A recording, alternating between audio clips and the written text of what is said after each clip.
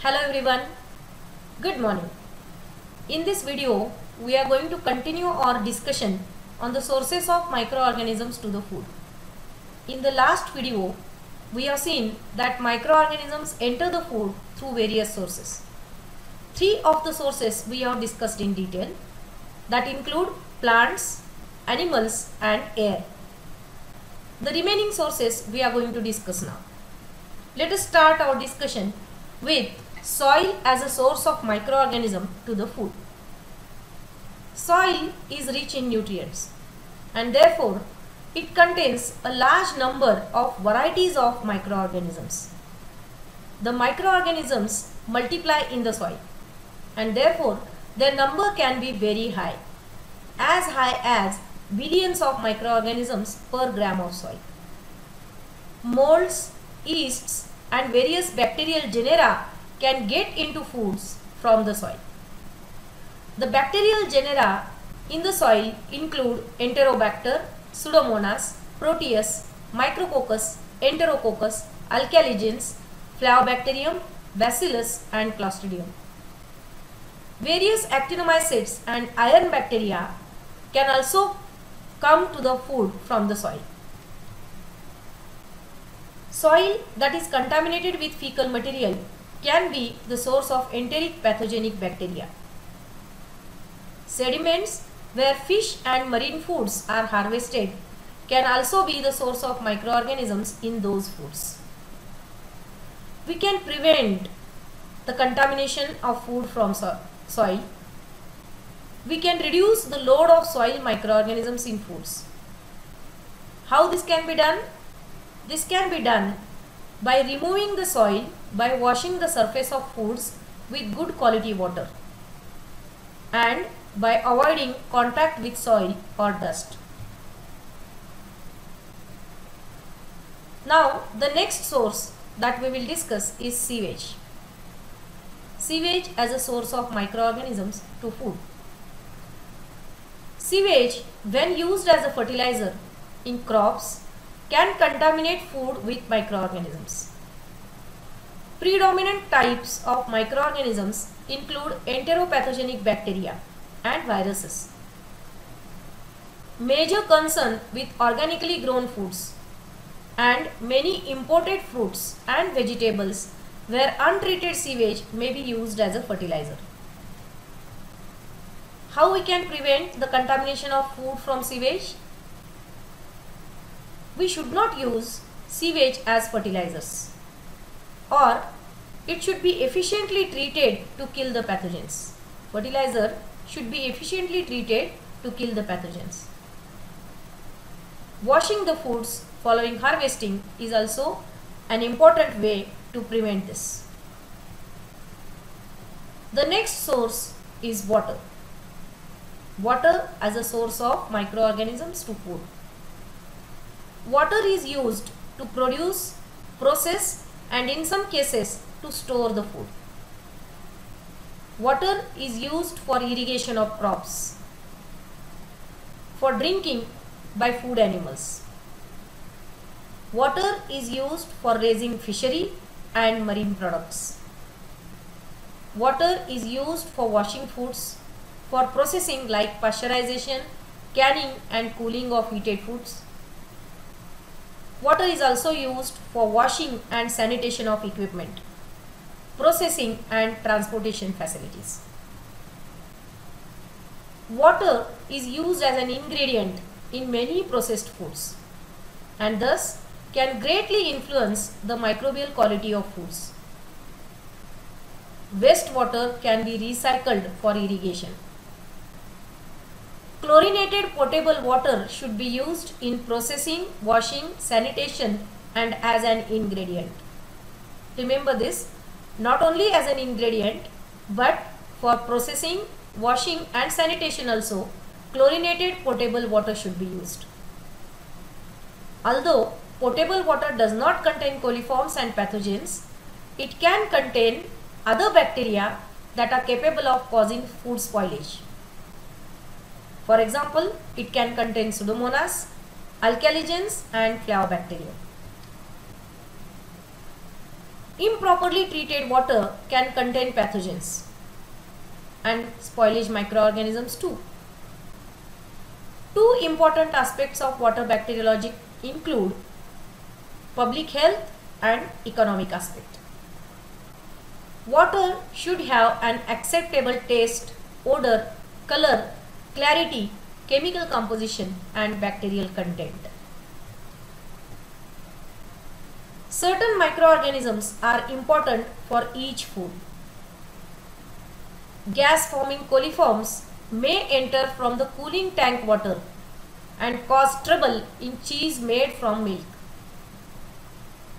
Anaerobic gas formers may enter the food from soil laden with water. Cannery cooling water may contain coliforms and other spoilage bacteria that enter the canned foods through minor defects in the seams or seals of the can.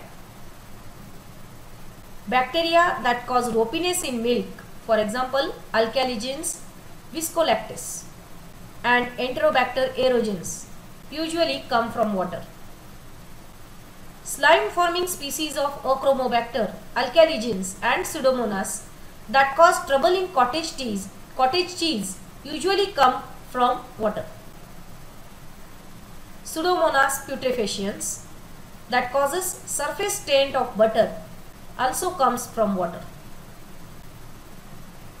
Therefore, it is highly important to select a location with good water supply when establishing food processing plant. It is often necessary to treat water to get satisfactory bacteriological and chemical quality. Water supply should be protected against sewage pollution. Water may be purified by sedimentation, filtration, chlorination, UV radiation or boiling. The next important source of microorganisms to food is humans. Between production and consumption, foods come in contact with people handling the foods. People working in food processing plant, handling foods at restaurants, catering services, retail stores and at home. Improperly cleaned hands, lack of aesthetic sense and personal hygiene, dirty clothes and hair can be a major source of microbial contamination in foods. Pathogens such as Staphylococcus aureus, Salmonella species, Shigella species, pathogenic E. coli and hepatitis A virus can be added through the human sources. The next important source of microorganisms to food is equipment. Wide variety of equipment are used in harvesting, transportation, processing and storage of foods. Microorganisms from air, raw foods, water and personal can get into the equipment and contaminate foods. Depending on the environment and time, microbes can multiply from low initial population to reach very high level and contaminate large volumes of foods. Processing used continuously for a long period of time Microorganisms can resent initially, can multiply and act as a continuous source of contamination in the product.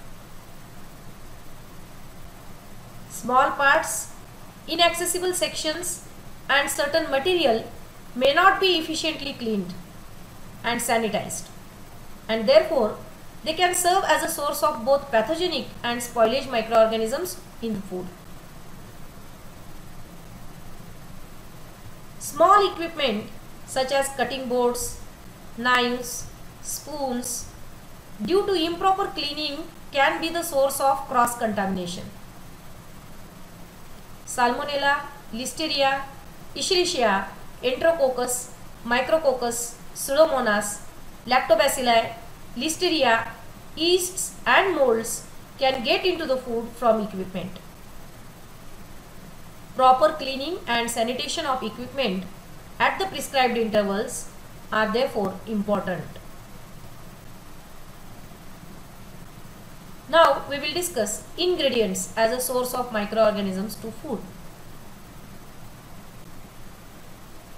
Prepared foods or fabricated foods contain many ingredients or additives and these ingredients or additives are included in different quantities. Many ingredients can be a source of both spoilage and pathogenic microorganisms. Various spices can possess a very high population of mold and bacterial spores. Starch, sugar and flour might have spores of thermophilic bacteria. Therefore, to avoid contamination of food from ingredients, the ingredients should be produced under sanitary conditions and given antimicrobial treatments. Setting up acceptable microbial specifications for the ingredients will be important in reducing microorganisms in foods from this source. Now we will discuss miscellaneous sources. Whatever we have discussed the sources until now, several other sources of food contamination include many types of packaging materials that are used in food.